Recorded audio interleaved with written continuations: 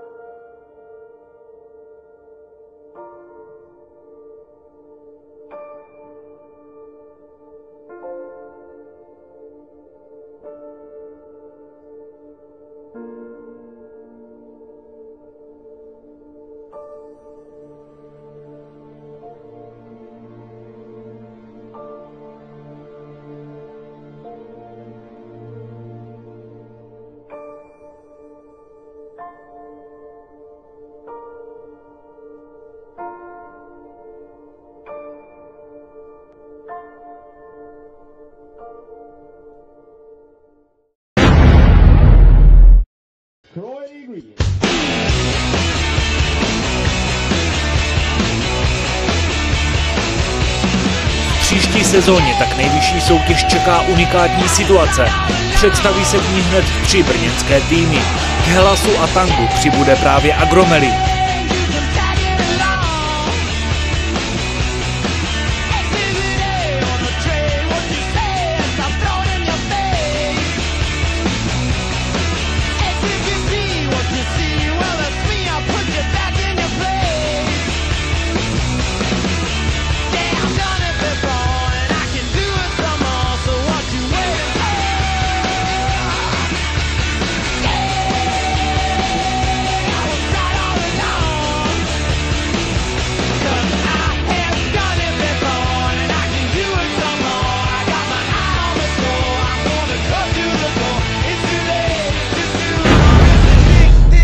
To super, no. budeme mít eh, šestkrát derby, tak se můžeme příští rok moc se těšit. Budou to asi nejzajímavější zápasy pro nás v té lize, nepočítám Chrudin.